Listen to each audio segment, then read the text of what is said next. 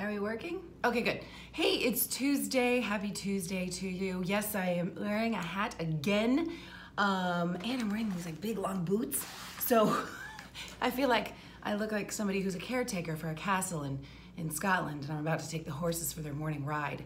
Um, I'm gonna be completely honest with you. I'm trying to maintain my pink for the month of October. Um, and so I'm not washing it a lot, hence the hats and I'm gonna go to the gym today. I wanted to go to the gym yesterday. I had all this stuff with me. I forgot my phone and I couldn't get to my music. I don't have music. I don't wanna go to the gym. Mitch thinks I'm making up excuses. I swear I'm not. Uh, but I have my phone today. I plan on going to the gym and it's a big day. Tonight I'm gonna wash my hair.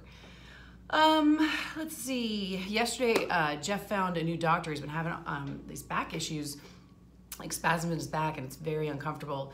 Um, and so he found a great new doctor who's giving him some stretches to help out. It should help with his golf game. Um, I have to wonder, you know, all this lumberjackman stuff where he's chopping wood with an axe and and hauling logs, if that's not maybe a part of it, but that's just me.